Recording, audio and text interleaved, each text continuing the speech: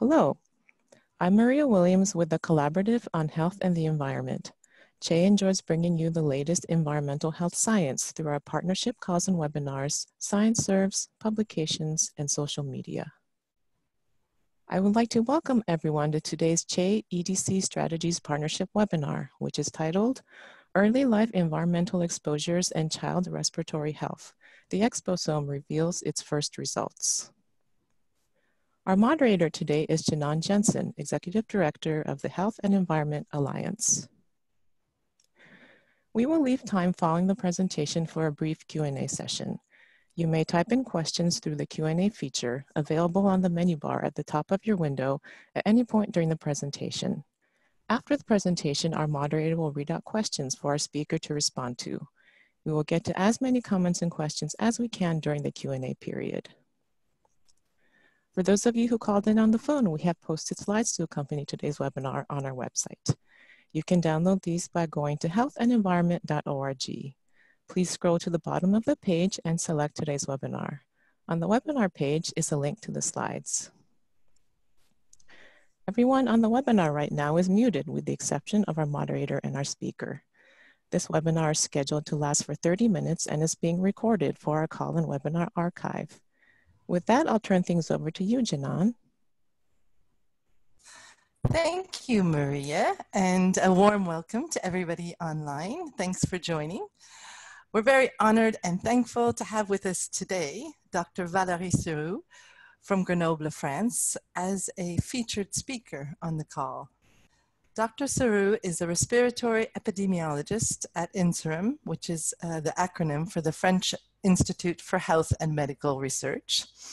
And her research aims at identifying the environmental, genetic, and epigenetic factors influencing respiratory health in children and adults.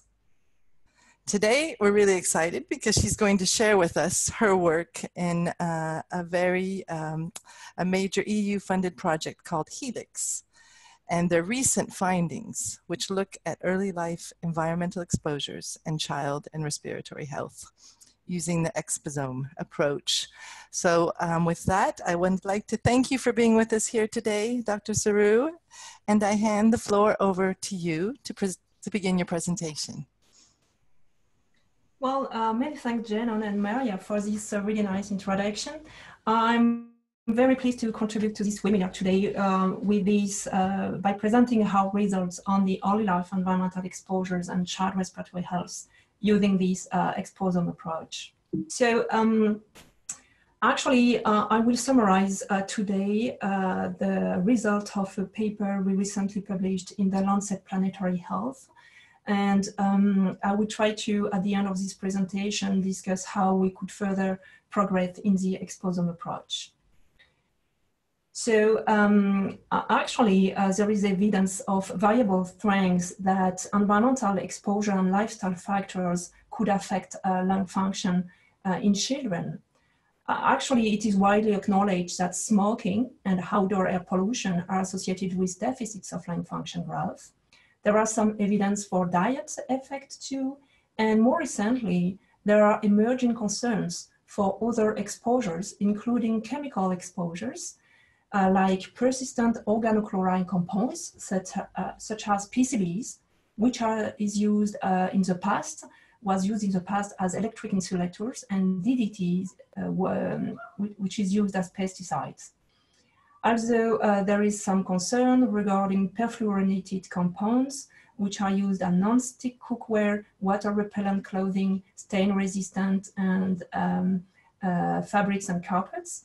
And finally, on other uh, chemicals like phthalate metabolites and phenols, which are used in um, the manufacture of plastics, solvents, and personal care products.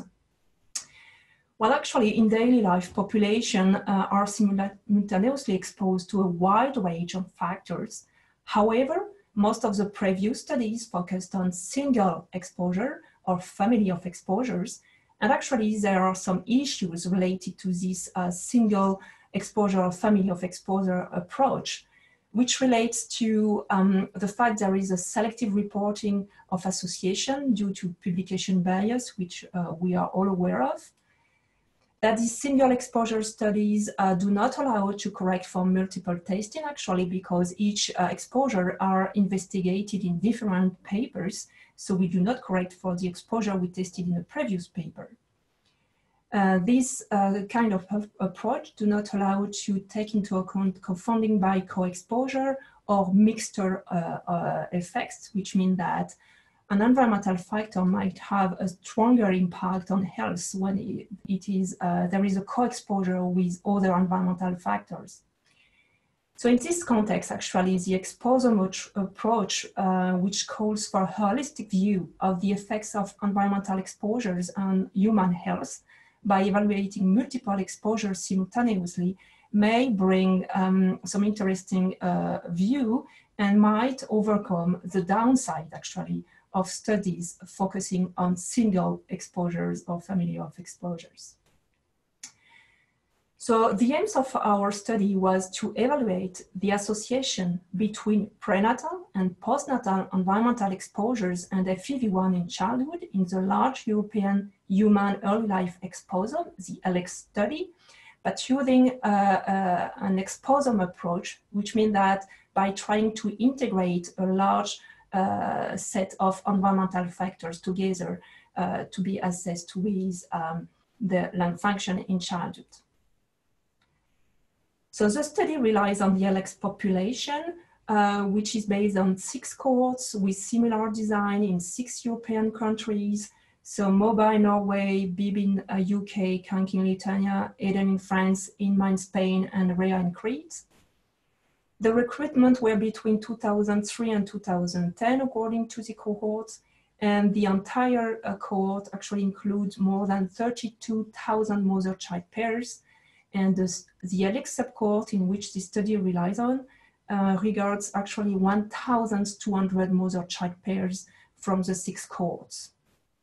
So the mother were recruiting during pregnancy before the week 24 of pregnancy. And then um, we collected some biosamples in mid-pregnancy. We collected information regarding the child and in the HELIX follow-up at six to 12 years, uh, we collected again biosamples and we measured different uh, outcome, health outcomes, including the lung function test. So the lung function test was measured by spirometry, uh, which was performed by trained research technicians using the EasyOne spirometer and the standardized protocol, uh, which required actually three acceptable maneuvers and reproducible maneuvers. Uh, and using the data recorded from the spirometer, we further assess the acceptability and the reproducibility criteria for uh, selecting the, um, uh, the lung function, the good uh, lung function curves for the children. And we assessed actually this process for a curve selection by looking at, sh the shape of the curves in a subsample of 243 examination in which we validated actually our approach to avoid actually um, measurement error on FEV1 in this uh, population. So regarding the exposure assessment, we uh, used different tools to assess the exposome. Overall, 17 uh, exposure families uh, were, were assessed, including 85 prenatal and 125 postnatal exposure variables. There is actually three main domains of the exposome, the outdoor or urban exposome, which was assessed from monitoring stations, geospatial models, land use databases, and satellite data.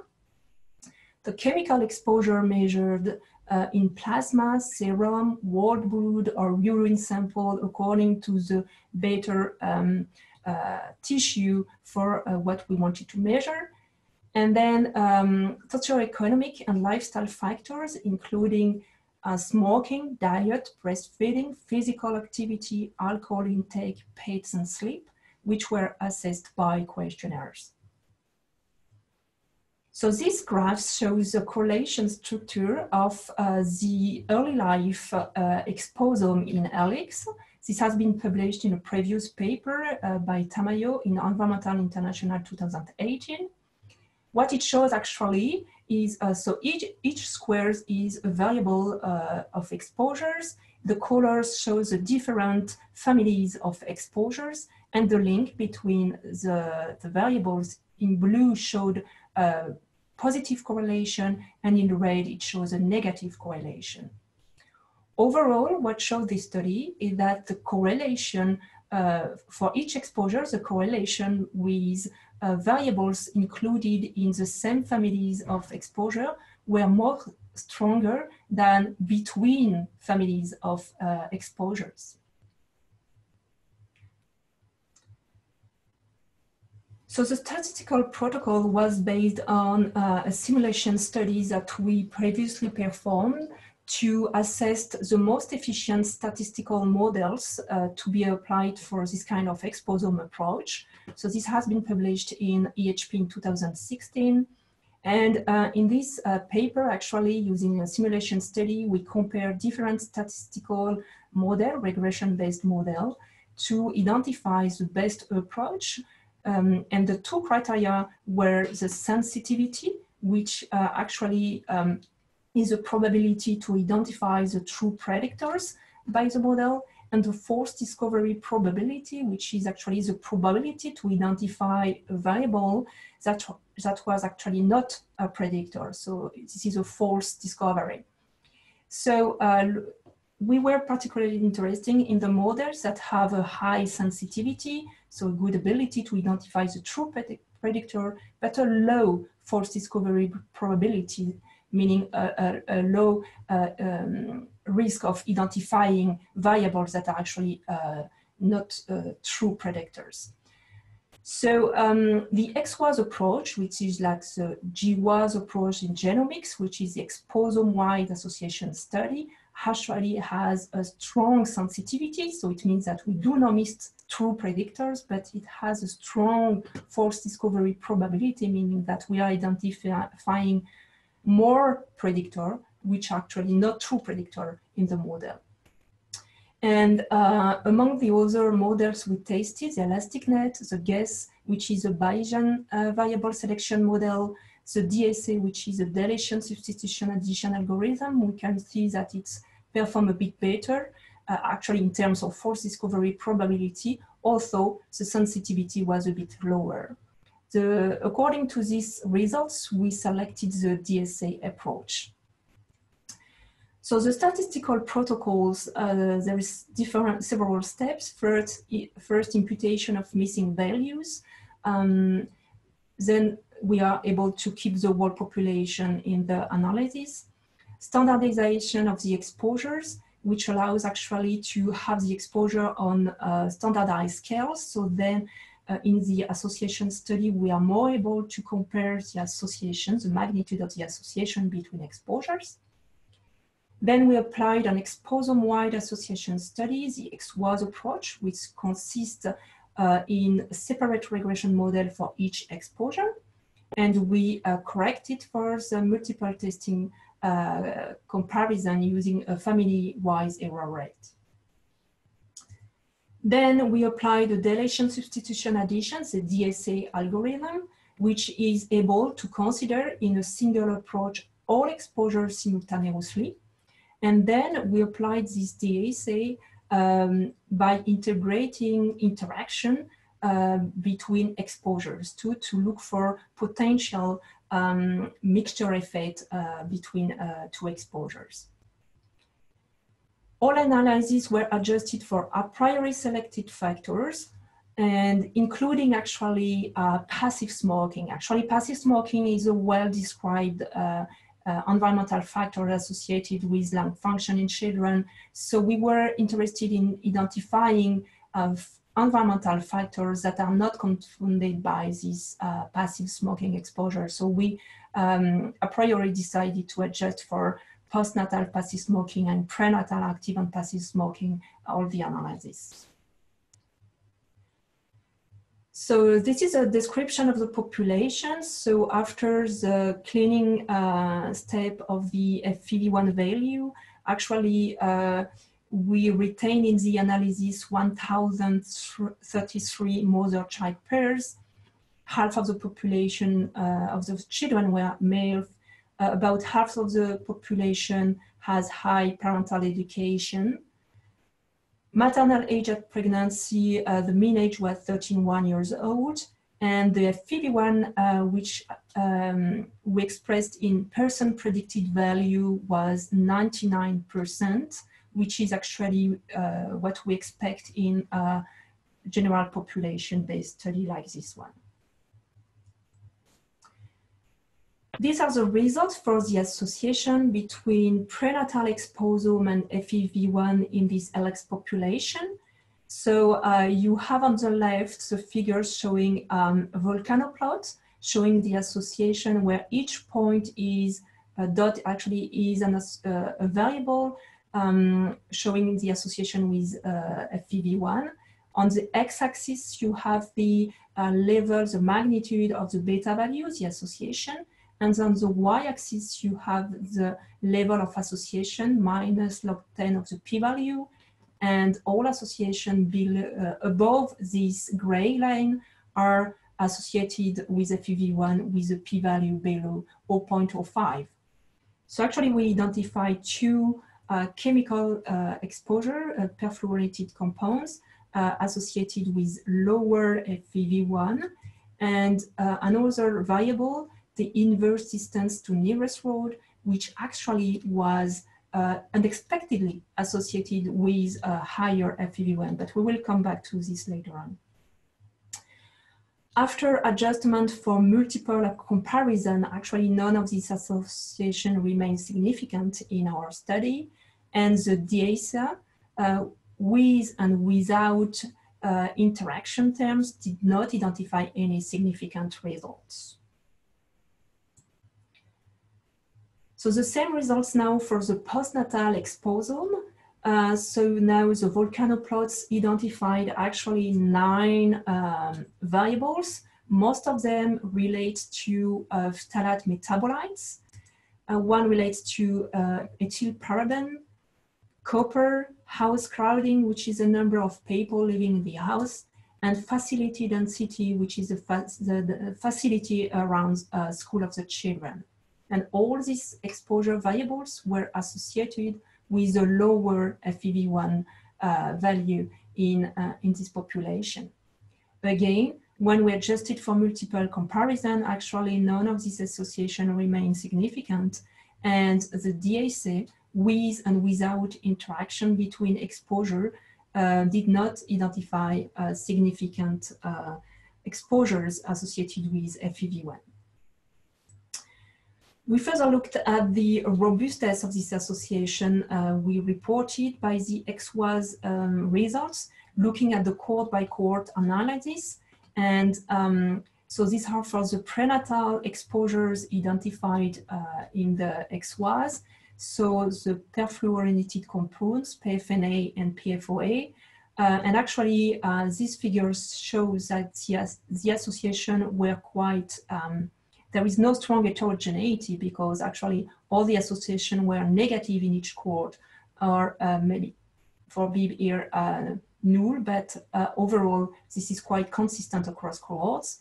And for the inverse distance to nearest road, uh, remember it was uh, unexpectedly associated with uh, higher lung function level in the children, but actually this association is really, this figure shows a strong heterogeneity because actually the association was my, mainly driven by the RHEA cohorts. Uh, uh, and in the other cohorts, we did not find any association or maybe a little uh, negative association here. So we are not so confident about this overall association given this uh, kind of heterogeneity.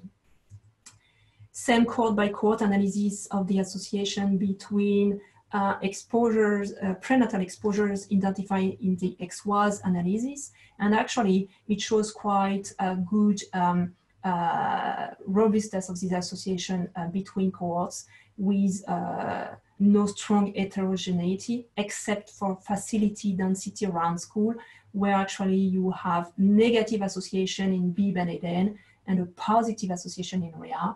Uh, so there is quite strong heterogeneity here and it is a bit difficult to interpret uh, these overall associations. But for all the other, we have actually quite strong and robust associations, uh, uh, meaning no heterogeneity across the cohorts.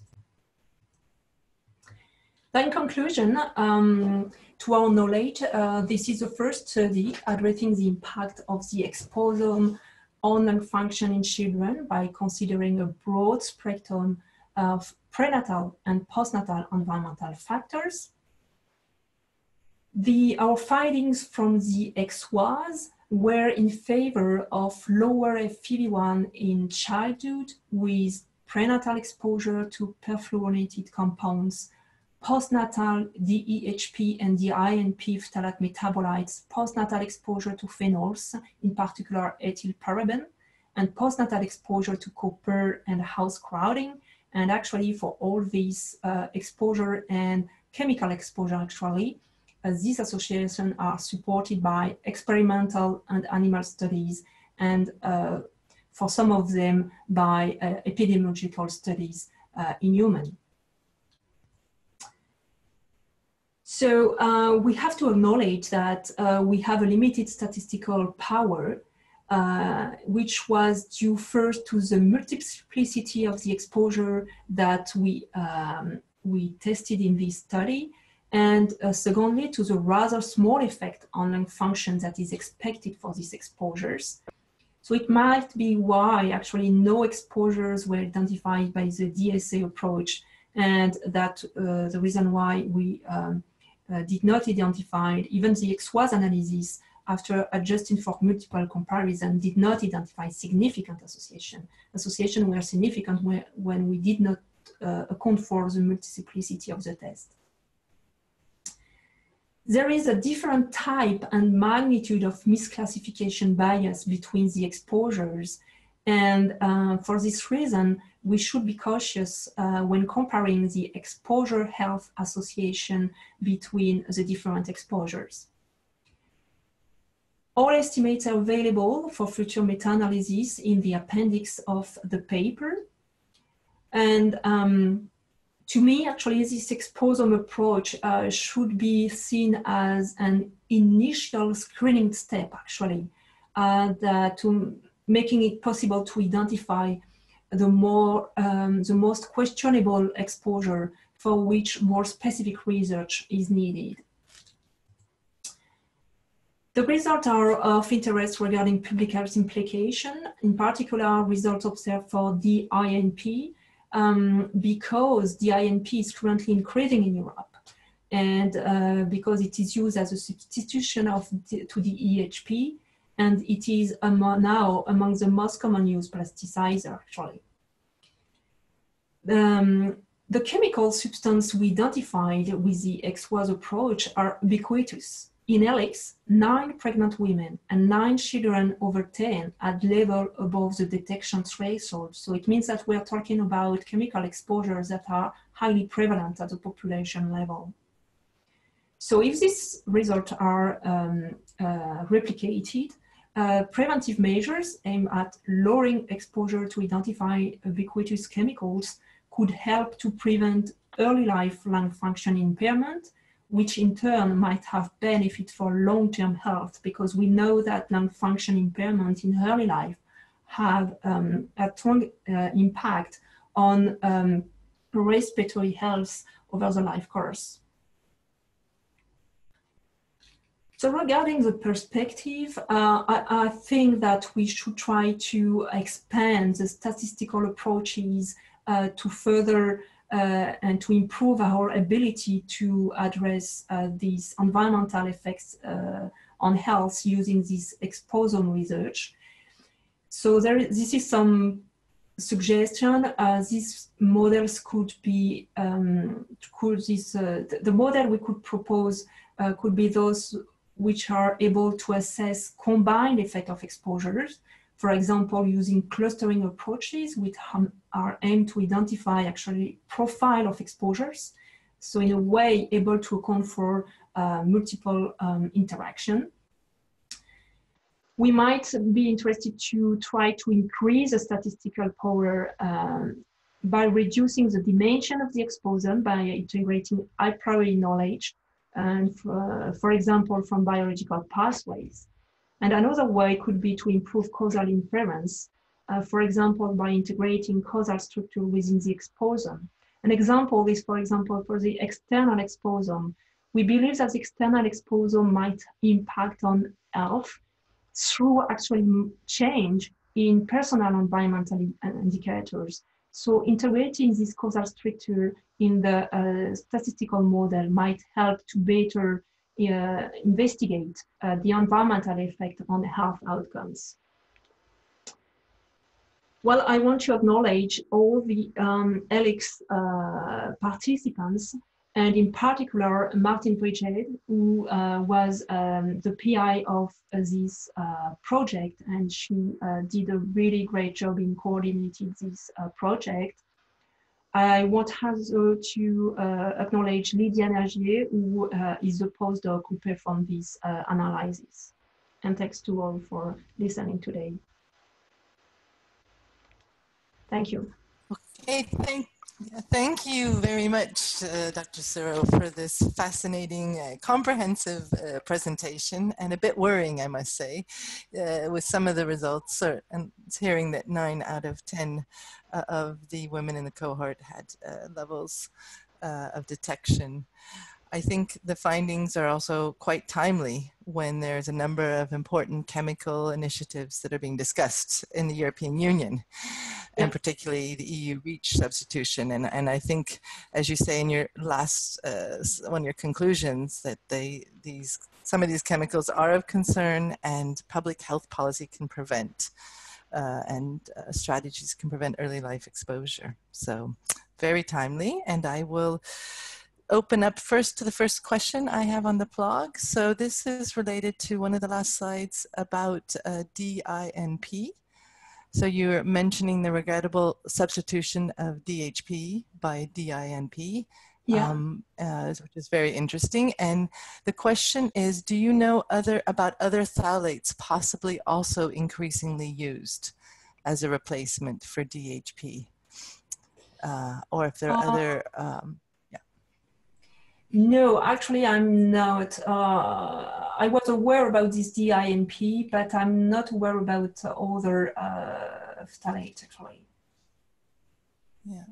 Okay. Okay. Thank you. Uh, another question uh, is, we should uh, more of a comment, but we should co correlate the airborne micro nanoplastic in dust and FEV and plasticizers. What do you think about that?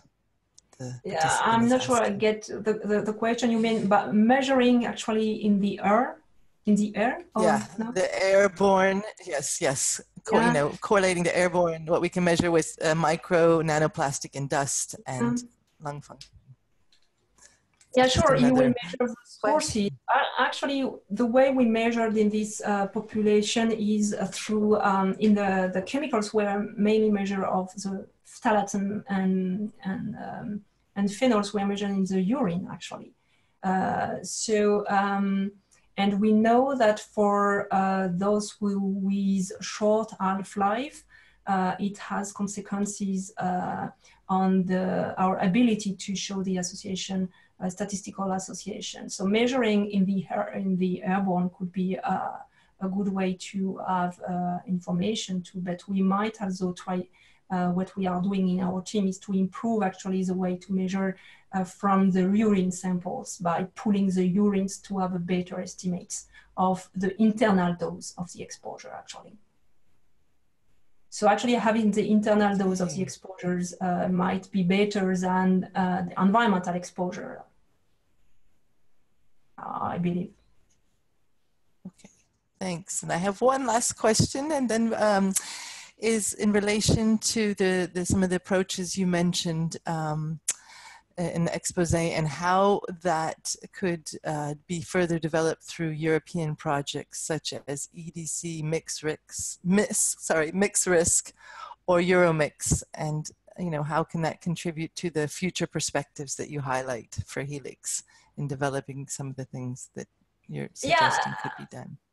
Yeah, actually, uh, we have to realize that we are in the uh, first year of the exposome approach. So we are identifying uh, in the HELIX project, uh, we were able to really well identify actually the exposome, which was which was not clearly identified uh, before. So um, by describing the exposome, and it was really uh, novel and interesting.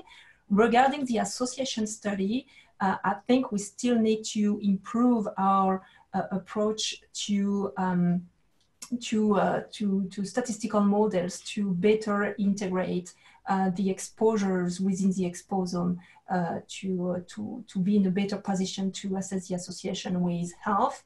And um, so how to do that? Uh, sure, by using uh, the very strong statistical. So I try to propose some perspectives in my presentation.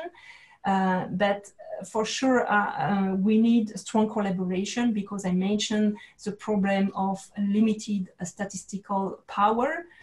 so we need to increase the sample size and we need to increase um, our ability to to integrate all this data. And I think the next uh, Exposome project will, uh, will allow this kind of uh, approaches. Okay, thank you very much. Um, we're at the end of the, the half hour, so I would like to again, thanks for your time and for uh, giving us this overview and hand the uh, floor back over to Maria. Okay, thank you so Oops, thank you so much, Génon. We are approaching the end of today's webinar. A video recording will be available on the CHE website soon, and tomorrow you will receive an email containing a link to the recording. CHE's next call from the CHE Alaska Partnership will take place next Wednesday, April 24th, and is titled Protecting Communities from Exposure to Harmful PFAS Chemicals, the Urgent Need for Safe Drinking Water Standards in the Absence of Federal Action. To learn more and to RSVP, please visit our website, healthandenvironment.org. If you are new to CHE and would like to stay updated about upcoming events and more, please sign up to receive our newsletter by selecting the Join Us tab at the top of any page on our website. Additionally, if you appreciate these CHE partnership webinars, bringing you the latest environmental health research for free, we encourage you to support CHE's ongoing work by making a tax-deductible donation via our secure website. Again, our website is healthandenvironment.org. With that, I would like to thank our speaker, Dr. Siroux, for taking the time to present today, and Génon for her excellent moderation. Thank you so much for joining us, and have a great day.